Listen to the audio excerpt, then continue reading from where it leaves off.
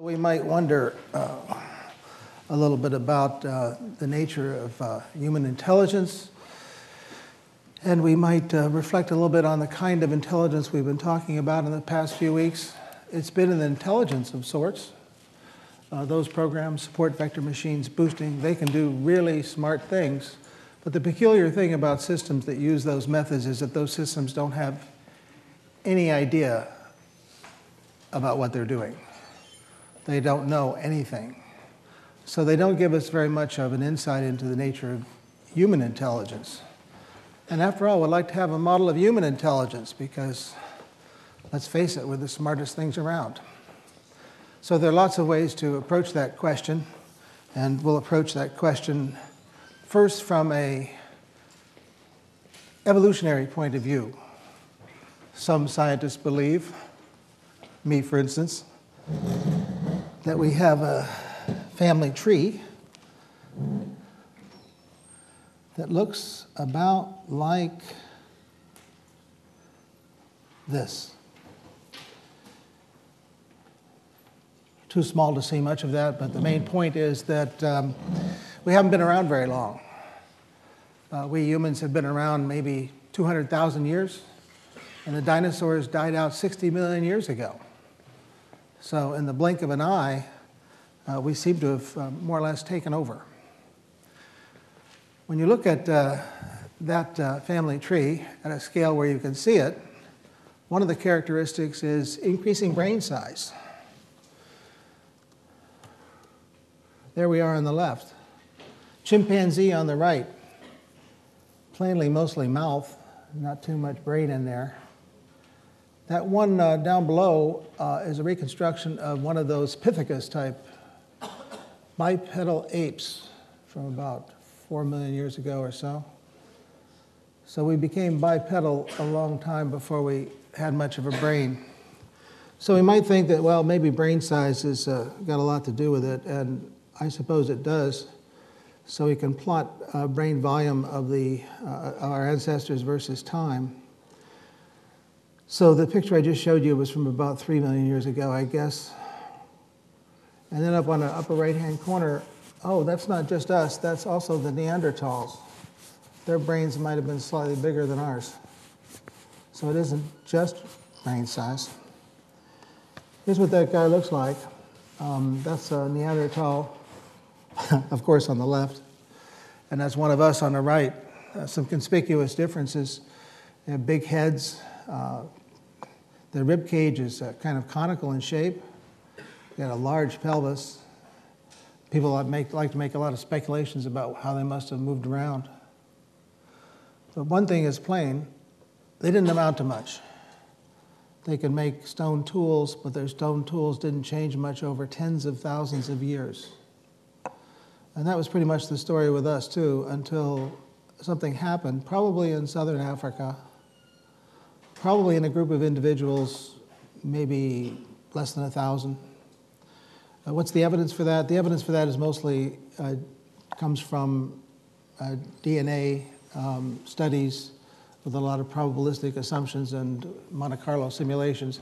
But it seems that among the competing hypotheses for how we came to populate the world, it seems that there was a group of Homo sapiens in southern Africa that got something that nobody else had. And, and, and, the, and, the, and the highest probability scenario is that we quickly took over. Uh, that population of Homo sapiens dominated the rest, went out of Africa, and within the blink of an eye did that sort of stuff. What's that sort of stuff? Uh, those are on those two paintings are from Lascaux, about 25,000 years ago paleoanthropologists like Tattersall take that as plain evidence that there was symbolic thought in the people who were around at that time, us Homo sapiens. The uh, head is a carving off of um, mastodon uh, tusk of a woman 25,000 years ago, also plainly symbolic. People were making uh, a lot of uh, jewelry and doing self adornment. The Neanderthals never seemed to do that. That jewelry making seems to have gone back to southern Africa, maybe 70,000 years ago. People were puncturing seashells and using them as necklaces, apparently. So something happened, and, and the paleoanthropologists uh, who write fascinating stuff don't quite know how to talk about it other than to say that it looks like we became somehow symbolic. And somehow that has something to do with language. So if you talk to Noam Chomsky, he will say,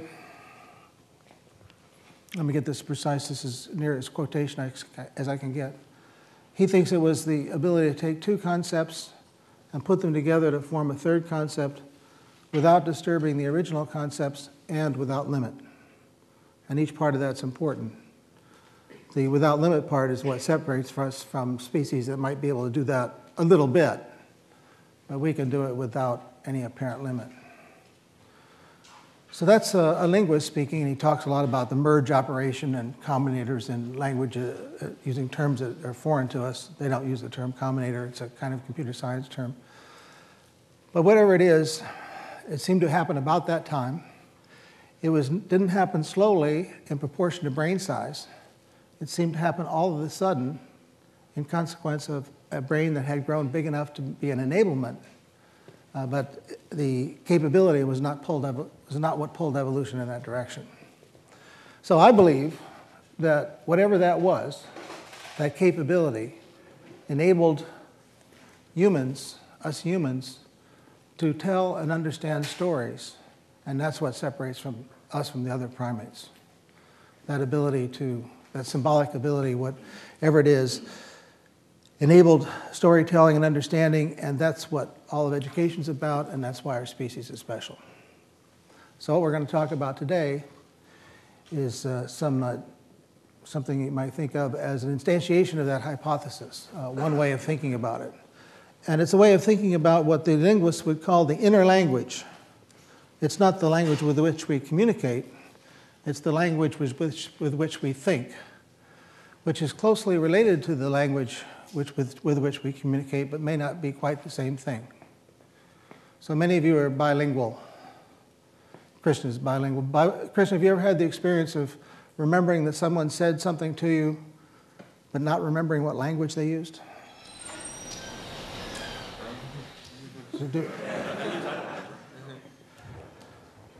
How about you, Sonia? Have you had that experience? What? I don't speak Swiss language. Nope. So you don't, no one's had the experience of having, Leonid, have you ever had that experience of having, remembering, remembering some conversation but not remembering the language in which it was cast? Well, you remember something, you usually don't know what language was that way. You usually don't remember. So that's a common, that's a common view you remember something was said that there was a conversation that had some content, but, but if it's with a speaker of your own language and you're embedded in another place, you often don't remember what language the conversation was in. Is that right, Juana? You remember things like that? Not sure? So sometimes you, sometimes you don't have that confusion, she says, because you always speak to particular people in a particular language. But many people report that they have that experience of not remembering which language uh, something was said in. Well, okay, so what are we going to do? We need an inner language, and maybe we can start just by saying, let's have, let's have something that looks sort of familiar to us. We, we, we, we have an object, and it's um, supported by some other objects, so those are support relations. That's one example of what we might call a semantic net. It's a network, it's got nodes and links, it's got, it's got, it has some meaning. That's where the word semantic comes from. Or we might have another example that looks like this. There's uh, Macbeth. There's uh, Duncan. And Macbeth murders Duncan. And we also know somehow that there's a kill involved as a consequence, and that ultimately Duncan uh, has a property.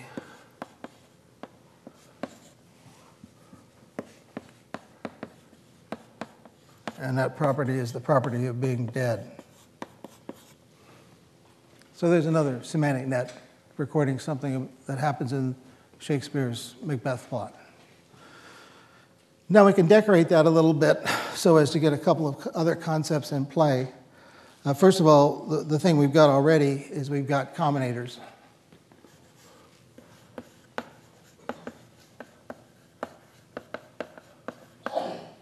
Bin, combinators.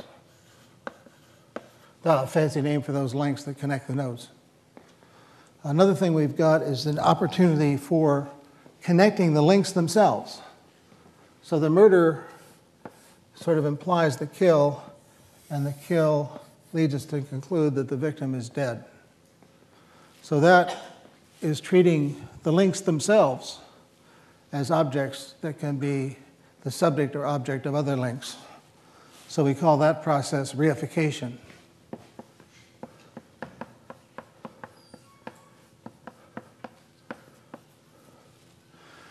Now, in artificial intelligence, uh, semantic nets were all over the early work. But you know, if you have a big network that covers the wall, you need some way of sort of putting a spotlight on some pieces of it. So Marvin Minsky put a lot of technical content into that idea and created uh, the notion of a notion that deserves another call, a color here. He suggested that we need a localization process so we have frames, so-called frames or templates. And a frame for this murder action might be that there's a murder frame that has an agent and has a victim. And the agent is Macbeth, and the victim is Duncan. So that's a, a way of putting a kind of localization layer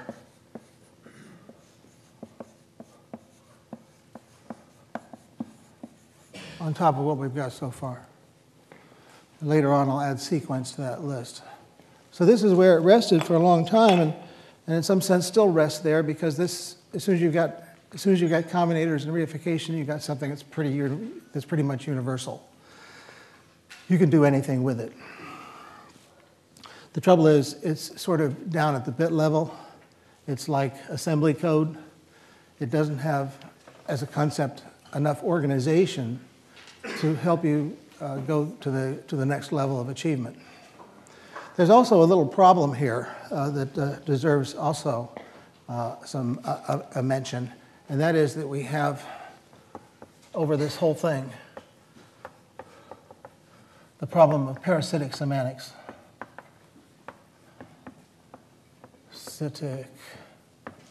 Semantics.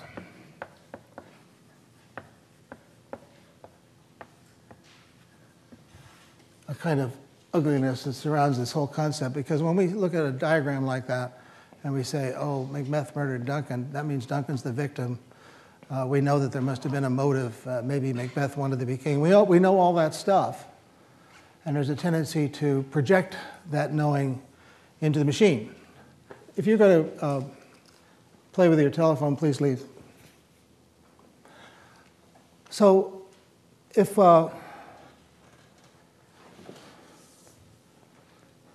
if we project meaning into that, that, that's, that's, that's our understanding. That's not the machine's understanding. So much of the meaning can be said to be parasitic. Uh, it's a, it's, it's a parasite. We're, we're the parasite, and we're projecting the meaning into that thing. Putting that diagram into some machine form doesn't mean the machine knows anything. It might be able to conclude some things, but its understanding is not grounded in, in any kind of contact with the physical world. So we have to worry a lot about that. And we were, if we were philosophers, we'd stop there and go off and write a few books on the subject. But we're not philosophers, so we're going to just mention the problem and, and go, go barreling ahead. So, uh, we need to use this notion of semantic net, and we have to ask ourselves some questions about what elements of the inner language are most useful. In the end, it might be very complicated, but here's usefulness number one the notion of classification. So, we know about stuff and, and we know about, for example, pianos. And we know about tools. And we know about Macs. But we know about those things on different levels. So when I say I, am thinking about a tool, do you have a very good image of what I'm talking about? The answer has to be no, because the notion of a tool is very vague, so it's hard for you to form a picture of what that's all about. On the other hand, if I say I'm thinking about a Mac, well, this is interesting because there's lexical ambiguity there. You don't know if I'm talking about the, the Apple type Mac or the Apple type Mac, or uh, should I say, the fruit uh, or the computer.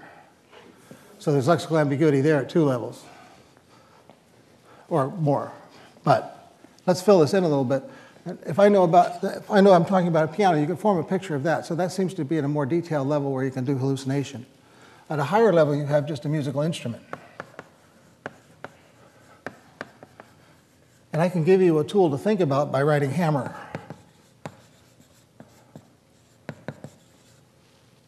And if I'm going to have a Mac, it's going to be an apple. And in this case, I want you to think about a fruit. And down here, I can be more specific about these things too. I, can, I can add a, a slight refinement of detail and say I'm thinking about, I'm thinking about one of these.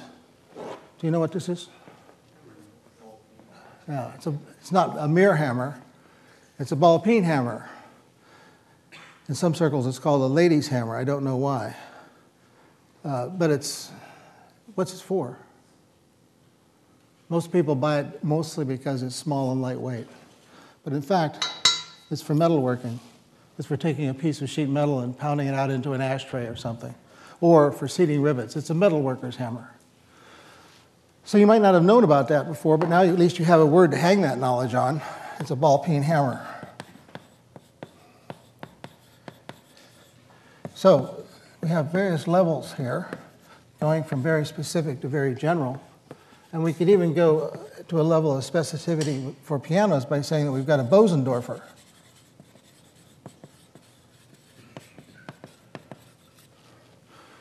Why is a Bosendorfer special? I mean, is it like a Baldwin?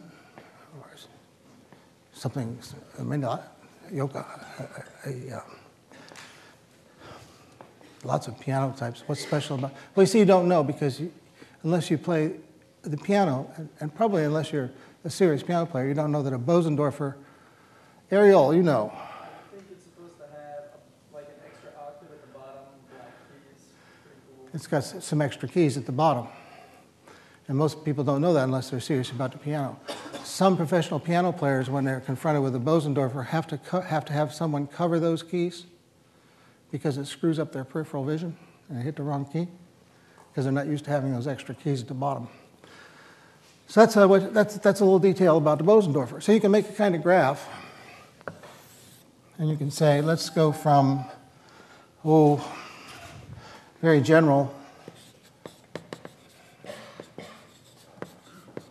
to a sort of basic level to a specific level.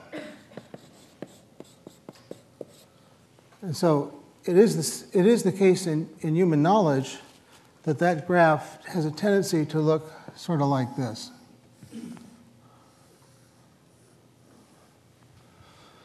So here's tool, here's hammer, here's ball peen.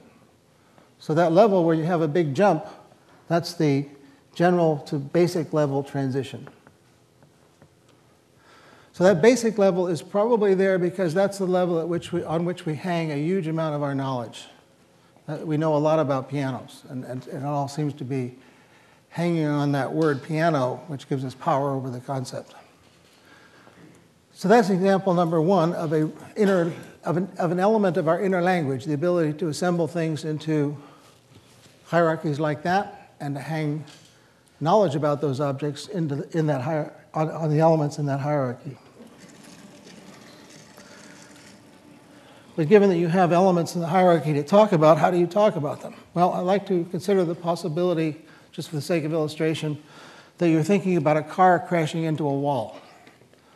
So you got the things to think about like the speed of the car, the distance to the wall,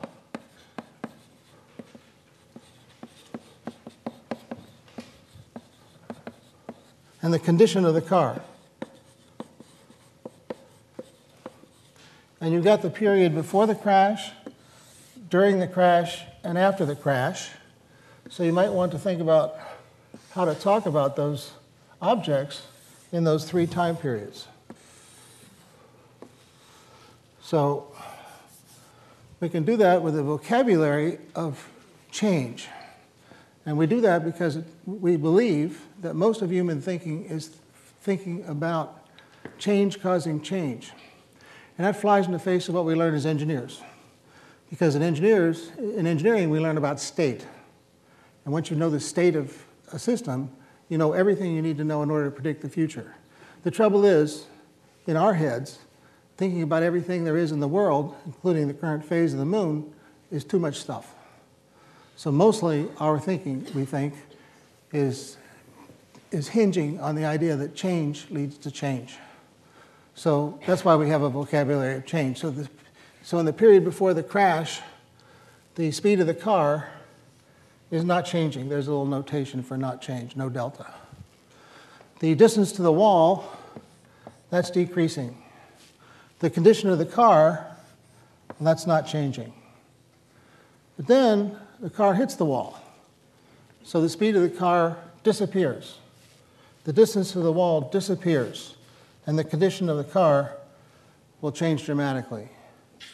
Finally, after the crash is over, the speed of the car does not appear, the distance to the wall does not change, and the condition of the car also does not change.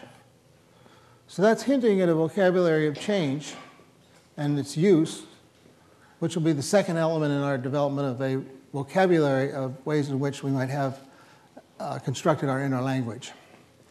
So this uh, particular idea, that's classification. This is transition.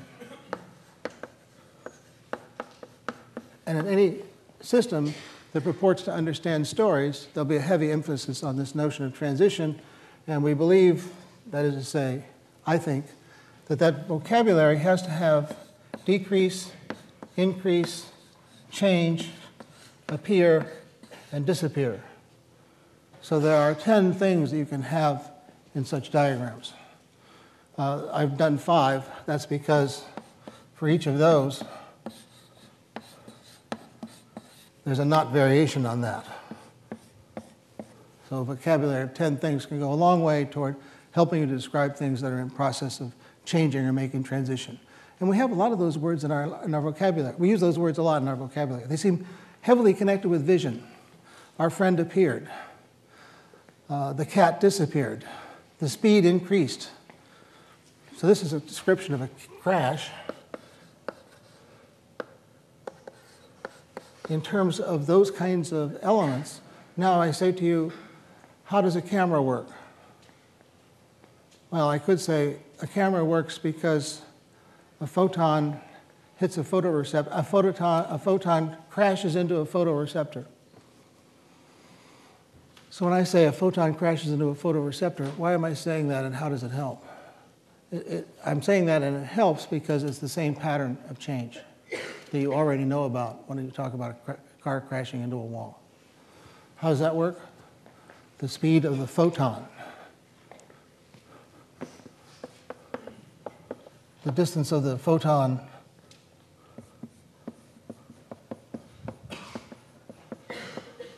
to the receptor. And the condition of the receptor. So analogies like that are, the, are very much at the core of what we think about all the time. In any event, there is, there is representation number two. Number one is class, number two is transition, and now you're ready for number three, which is trajectory. Linguists who study sentences uh, often talk in terms of fundamental patterns that seem to be in a lot of what we say. And a lot of what we say is about objects moving along trajectories.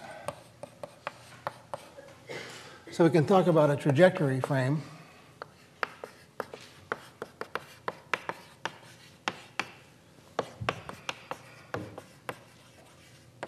And a trajectory frame will have elements like this. It has an object moving along a trajectory that ends up at a destination It might start out at a, at a source. It's probably been arranged by some kind of agent. And that agent may assist himself in making the motion happen with some kind of instrument.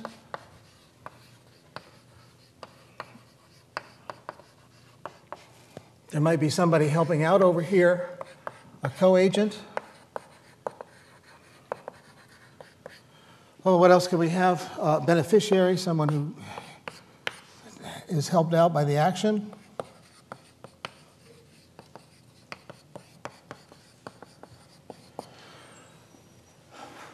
Sometimes the motion is arranged by a conveyance.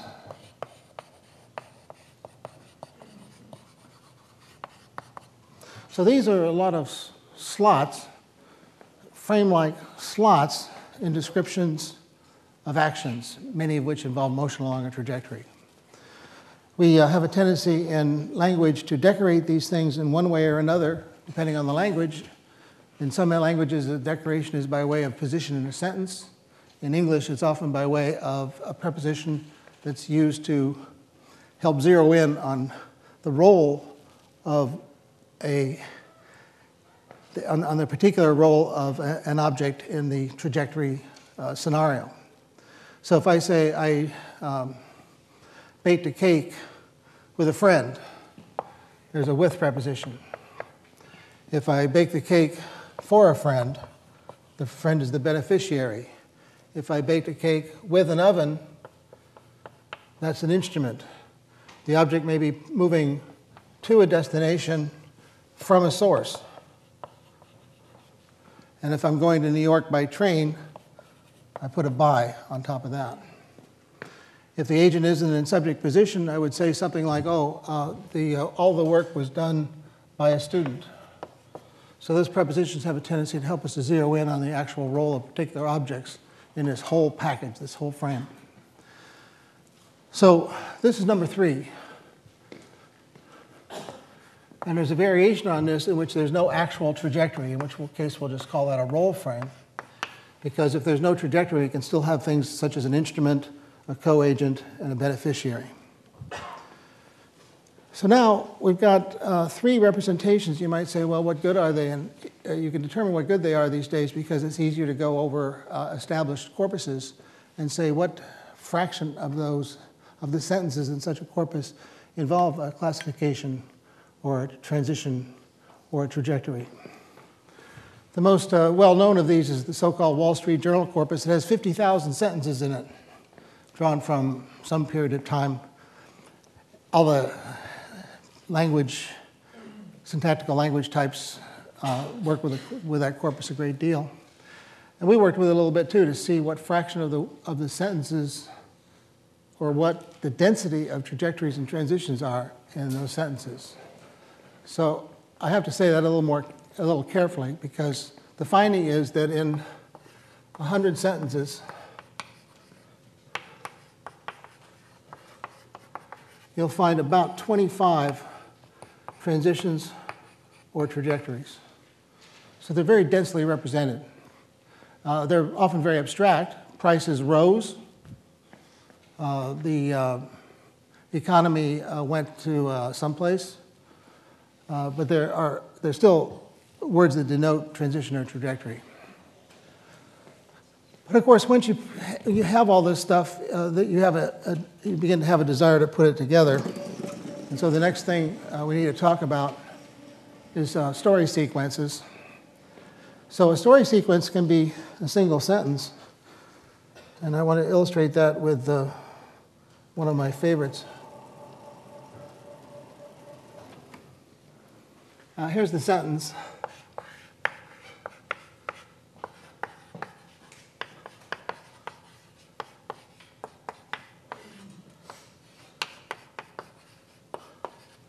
There, I think I've chosen gender neutral names so as not to get any trouble.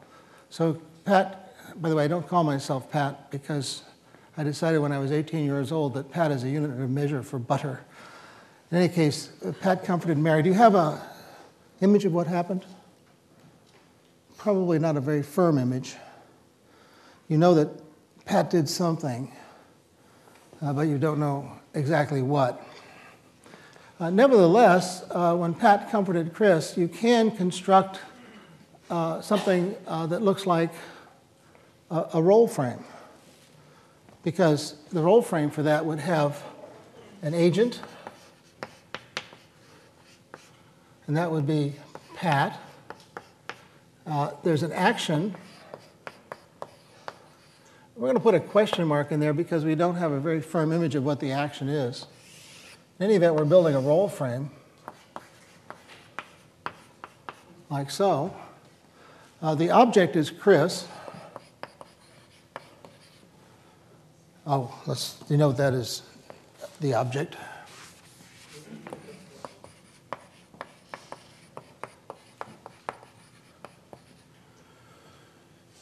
Is there anything else we can say? Ah, yes, we can probably say something more. Uh, Something else comes to mind uh, when you, when you see Pat comforted Chris. There's a, res, there's a sort of result. And the result is a transition frame. And the transition frame involves an object, which is Chris. And Chris has a mood, which presumably uh, is improved. It, it, it goes up. Did you have something, Elliot? Could you, I guess, analogize the Pat comforted Chris to something kind of like Pat gave comfort to Chris, which means Chris is the destination and comfort is the. Uh, wandering into a very interesting area having to do with. Couldn't you think about this in another way and think of it as um, a, a something moving along a trajectory? Comfort is moving, uh, if not from Pat, at least to Chris. And that's a very important kind of observation because what it, what it suggests is that there can be a, a utility in thinking of things in multiple ways, multiple representations. Marvin Minsky has a, a, a wonderful aphoristic phrase, is, which is if you can only think about something in one way, there, there's, you have no recourse when you get stuck. So, multiple representations mean you have multiple ways of gathering regularity from the world and collecting it, and therefore that'll make you smarter. So, yes, you could do it that. You could do that, and that would be a complement to what I'm doing now. But let me continue with what I'm doing now. So, what have I done? I've got a role frame and a transition frame, and the transition frame is the target of the result slot in the, uh, in the role frame. Now we can uh, modify this a little bit. And maybe we want to say, uh, instead of comforted, uh, terrorized.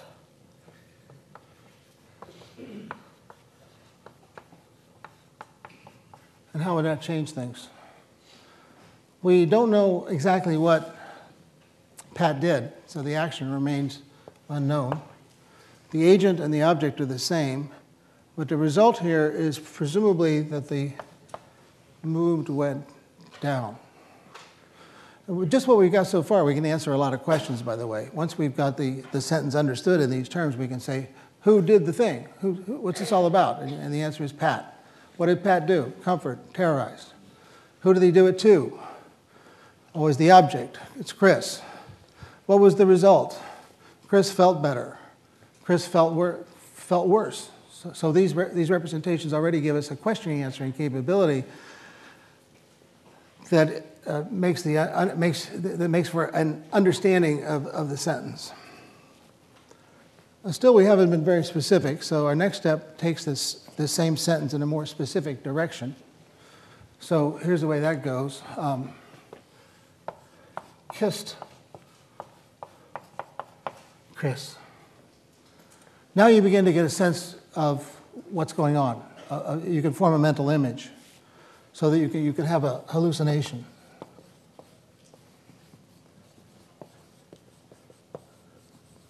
And that hallucination will also be a kind of frame, but in this case, it'll be a trajectory frame.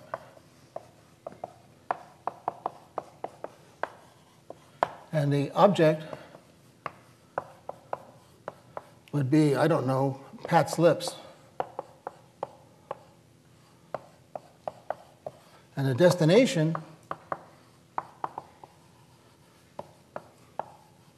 would be Chris's lips.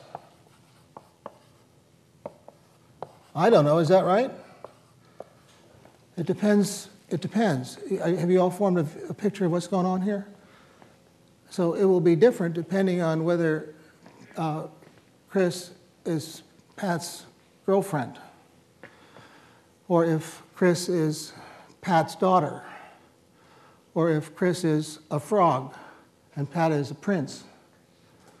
That's, I guess, the way the story usually goes. So somehow we have in our heads all kinds of libraries that help us to form mental pictures of things when we see things like kissed. So one, one final one, just to show the variety, we could say that uh, Pat stabbed Chris.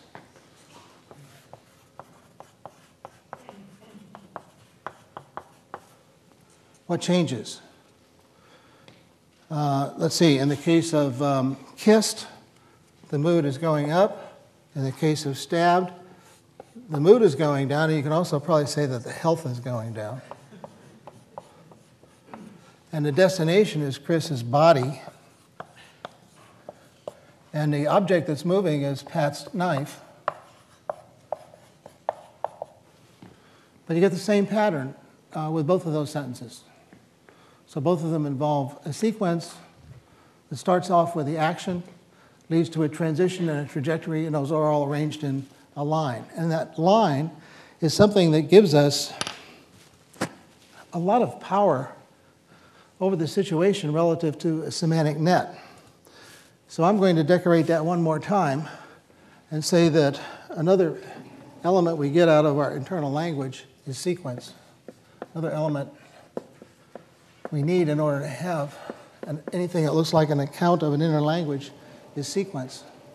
Because if you think about things being arrayed in a vast spreading network, it's hard to deal with them.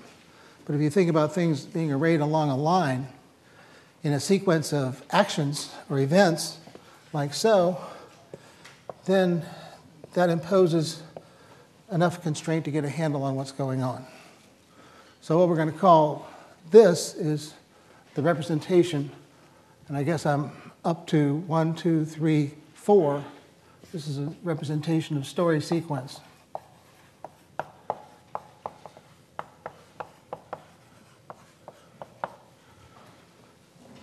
So even though that's a kind of micro story, it's still an example of a, of a story sequence because we get the power out of it by arranging everything in a line. Now, you, you, you, under, you, you, you have a sense, I think, especially if you play a music, musical instrument, of how dependent we are on sequence. So if you play a musical instrument, you probably know how difficult it is to start replaying a piece of music from the middle of a measure. You have to go back to at least the beginning of the measure and probably to the beginning of the phrase, if not the beginning of the piece. So our memory seems to be, at least in music, very rooted in the, in, in, in the idea of sequences. And that's often true in storytelling too.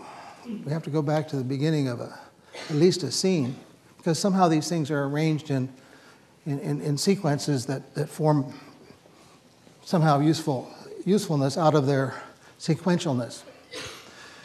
So there's one more thing we can talk about, and that is the idea of not just the idea of uh, how these sequences are constructed and what they're constructed out of, but we can also talk a little bit in terms of uh, libraries of stories.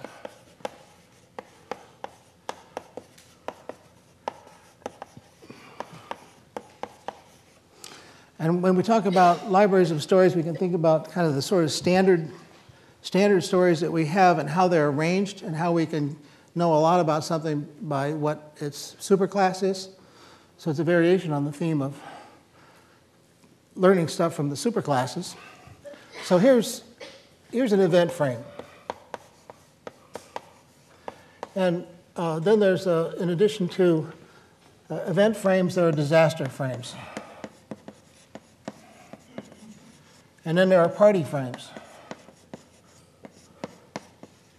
And you know, parties and disasters are both events. And when we talk about disasters, we know that they in turn break up into a variety of things. We have earthquake disasters, and maybe we have hurricanes. And in the party world, we have, I don't know, birthday parties. And we have weddings. And each of these types of frames invites us to fill in particular slots. So if we're reading a newspaper story about a wedding, uh, we know that uh, we're going to be learning the same sorts of things we would learn about any party, except there's the addition, additional information that we expect that says something about uh, the bride and the groom.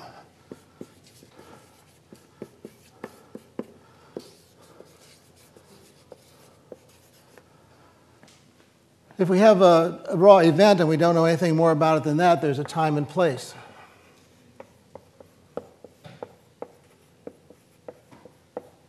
If it's a disaster frame, uh, it gets a little grisly over here, but if there's a disaster frame, frame we might have the fatalities. And how much it, how much it uh, cost. If it's an earthquake frame, we need to know the magnitude uh, of, the, uh, of, of the quake and the name of the fault. If it's a hurricane, we have the category. and the name. So each of these things up there can be viewed as, as a, you know, not just an example of something, but as a, as, as a new frame all by itself. So as we, as we mature, we have these first four things as building blocks, and then we, we educate ourselves and we get all those kinds of frames that help us to understand the world. But uh, how to fill those in from a newspaper story can be some, sometimes quite a challenge. Actually, the worst thing to understand uh, is um, children's stories. Because, um, and this was determined uh, experimentally when people tried to understand children's stories, because it turns out the children's stories are not simpler than the, than the stories we write for adults. In many cases, they are they're harder If you read about Shakespearean plots, it's all about intrigue, murder, jealousy, greed. But when you're talking about a children's story, it can be about anything. And worse yet, the uh, children's story often raises problems that you don't see in newspaper stories. Let me illustrate that for you.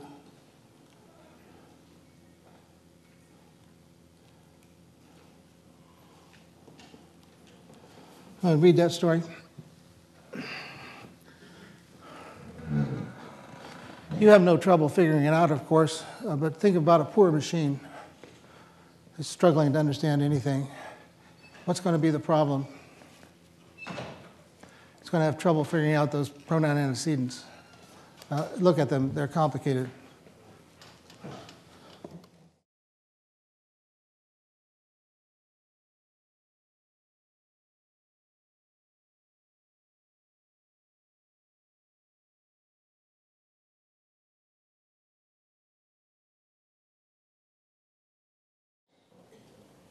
They're the pronouns. One of them wanted to buy a kite. He has one. He said he will make you take it back. So that's pretty hard. Actually, uh, the principle here that I'm, I'm driving at is when you have a new story or any story, if you have an old story but you want to read it, but you want to understand it quickly, the new instantiation of it quickly, you need to be sure that if you're the storyteller, you don't add to the burden of the understanding any syntactic difficulty. So that's an example of telling a story with additional syntactic difficulty. No uh, newspaper journalist would ever write the story like that. Here's how they would write it. They would even, they would even give you a clue uh, that there's certain information you're never going to get, like uh, who told the story. That's that reliable sources business. So this brings us to the, uh, to the, to the uh, final uh, bit that I want to deal with today. And what I'm going to do is, I'm, I'm, if you came into this class today as a 97 pound writing weakling, uh, you're about to emerge as a 250 pound mountain of a writer. Because I want to tell you a few tricks that will make you hugely better as a writer, especially, especially if you're Russian or German. And here's how it works. Rule one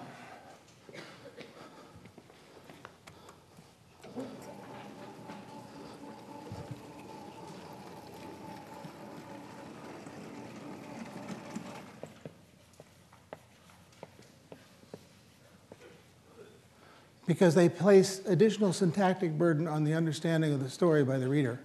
So if you're teaching, so, if you're telling somebody about some difficult new technical idea, the last thing you want them to do is to burden their syntactic processor with figuring out pronoun antecedents. So don't use pronouns, and your writing, technical writing at least, will be much clearer. By the way, why does this especially apply to Germans and Russians? Is it because, is this, is this a ethnic origin slur, or is this a fact about their language? It's a fact about their language. What is the fact? Why can they get away with pronoun usages that we cannot get away with in English? Yes, Andrew? Although that, that could also. Genders, gender, genders, yeah. Because if you have uh, all of your, all of your uh, nouns decorated uh, with, with gender, that reduces by three uh, the, the, the, the potential for ambiguity in the pronoun antecedent. So you'll frequently find that German and Russian writers will have pronouns all over the place that are perfectly clear to them because of gender that are uninterpretable by English speakers when translated because we don't have the gender to help us zero in. So uh, these things are all have to do with minimizing extra uh, superfluous, gratuitous, unnecessary burden on the reader. Number two is don't use former or latter. You see that those words used frequently in technical writing, and guess what? No human being ever encounters those words without having to stop and go back to figure out what they refer to. So that's another example of not placing an unnecessary syntactic burden on the reader. And finally, don't call a shovel a spade. There's a, there's a habit probably instilled by well meaning but misadvised high school teachers that you shouldn't repeat words. And so people will go to great length to use some different word. The problem is that the reader doesn't know if the shift in the word is deliberate and attached to some subtle meaning shift, or if it's just adhering to some high school teacher's admonition against using the same word again. So you don't want to say, oh, uh, the right way to dig this particular hole is with a spade, and then switch to a shovel because you, the reader can't tell if it's deliberate, accidental, uh, or a consequence of just the desire not to use the same word. So, uh, this is how you can, with, with some very simple mechanisms, grounded in AI, you can actually make yourself into a better writer by avoiding those kinds of things that put an unnecessary syntactic burden on the people who are reading your stuff.